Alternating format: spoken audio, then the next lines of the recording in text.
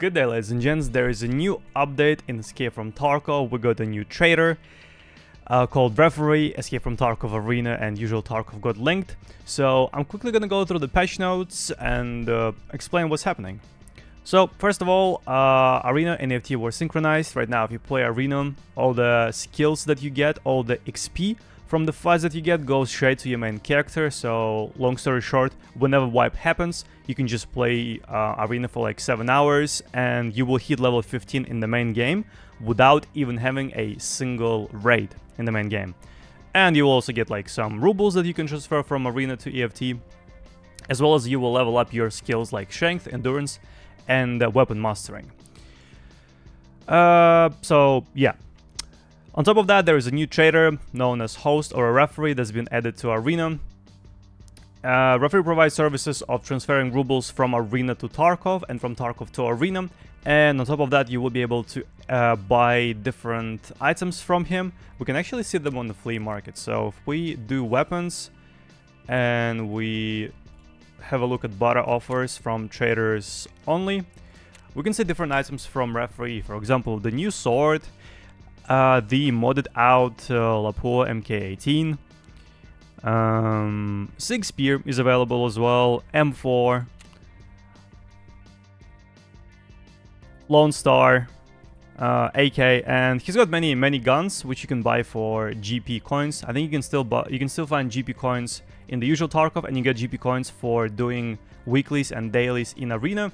And one daily in arena roughly gives you like 20 maybe 30 gp coins. Maybe it's also based on your level. Um, i'm not entirely sure but yeah it's not it's not too difficult to get those gp coins from arena dailies and uh, weeklies. Also he will uh, have some trades for liga medals. That's something you get from weekly quests in arena that take more time to do. I'm unsure what kind of items he sell for liga um, coins because i haven't seen them yet but I assume something like the sword is probably being sold for Liga items. Uh, maybe armband, maybe something else, there is a new armband that you can buy from the new trader. Uh, but yeah, you can transfer rubles and items from Arena to Tarkov, and if you transfer it from Tarkov from Arena to Tarkov, there is a 20% commission fee, which I'm gonna show you in a second. And for items, it's 5% uh, commission fee. In order to unlock the new trader, you need to do a quest from Skier called Easy Money Part 1. So if we go to Skier quests, there is a quest Easy Money Part 1. It's not uh, too difficult. You can find the quests on Tarkov Wiki right now. You need to collect three different journals on woods uh, around the uh, USEC camp with all the locations shown on the screenshots. And then you need to stash those journals on different maps and locations are shown as well. So the quest is not too difficult to do and after that you unlock uh, you unlock the new trader. Then you will be able to get uh, more quests from the new trader called uh, balancing. Um, you need to kill scavs using a specific equipment, then you need to kill PMCs using specific equipment.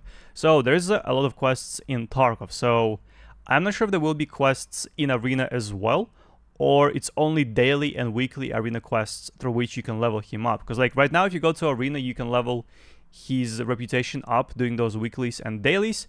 And I'm not sure if there are any items locked behind arena quests. So we are yet to see that. Also, as far as I know, um, EOD Edition uh, got uh, some buffs. For example, you can buy 20% more bullets from different traders. So if I was able to buy 100 bullets from uh, 100 BP bullets from Prapor now can buy 120. Uh, I think that's available only for EOD and unheard editions that upgraded from EOD. And that's about it. Let's have a look at how the transfer from Arena to Tarkov looks like. So whenever we open Arena, there is a trader menu that we can click on. This takes us to the referee. Uh, we can check our daily, weekly quests that give us GP coins as well as some reputation with the referee. And the weekly quest gives me three uh, Liga medals that I will be able to use somehow in the future. And he also has services. So if we click on services, it takes us to the arena stash. It's really huge. It's 10 by 300 squares, much bigger than in Tarkov. And you can transfer items. Items? Can we transfer items? No. Um, yeah, no, we can transfer rubles. as well as items. Okay, so there is a limit of uh, half a million for me right now, I guess, daily.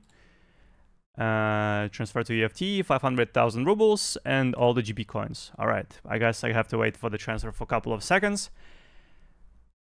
Uh, and it's done. Now we're gonna open EFT and see what's up. So whenever we open EFT up, we get a message from the system, we get a message from referee, uh, transfer from arena, and we just click get, and we get exactly what we transferred. So I get 500,000 uh, rubles as well as some some GP coins, and that's how it works. And once again, uh, the new trader is not available in PVE. However, there should be a method through which you can transfer items and rubles from arena to the PVE without even using the trader. And uh, that's all the news I have for today. Thanks so much for watching this video. Give it a thumbs up. Share down in the comments below what you think about this update. And I will see you in the next one. Take care.